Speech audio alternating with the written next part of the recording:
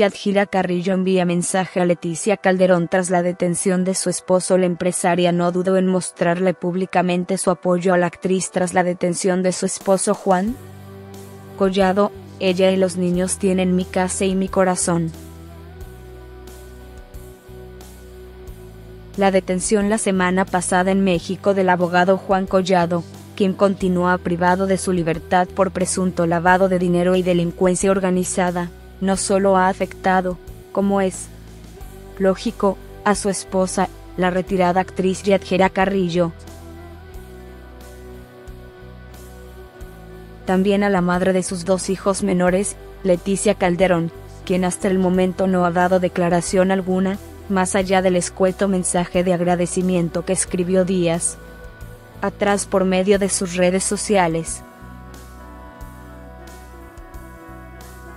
A pesar de que no se ha puesto en contacto con ella después de lo sucedido, la que fuera protagonista de la exitosa telenovela de Televisa Amarte es mi pecado no. Dudó en tenderle públicamente la mano a Calderón en un reciente encuentro con medios de comunicación.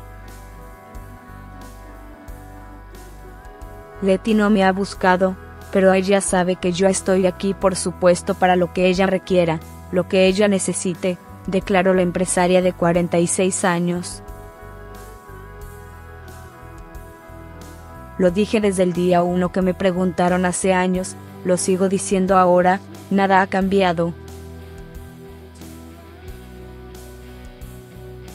Lo que ella necesite yo estoy aquí, para lo que ella necesite siempre por supuesto, siempre ella y los niños tienen mi casa, mi corazón, mi ayuda, mi compañía. Todo aseguró.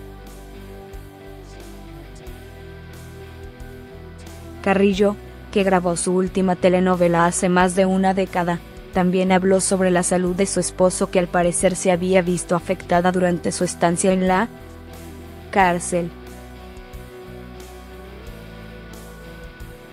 Ahora estoy preocupada porque se le subió el azúcar.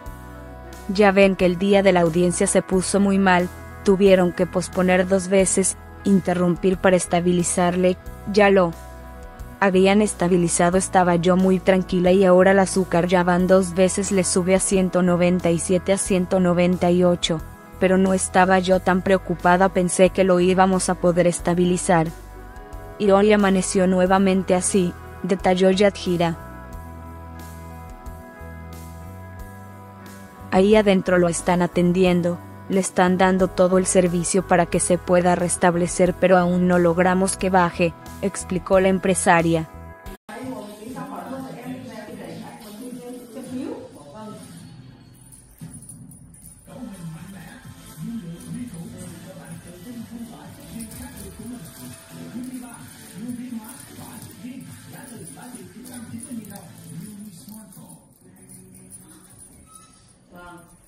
Thì em bảo là nếu em cứ chữa hai chục ngày ở bệnh ở đây đi đâu nó không đỡ thì bắt đầu phải anh quyết mà chữa tiếp.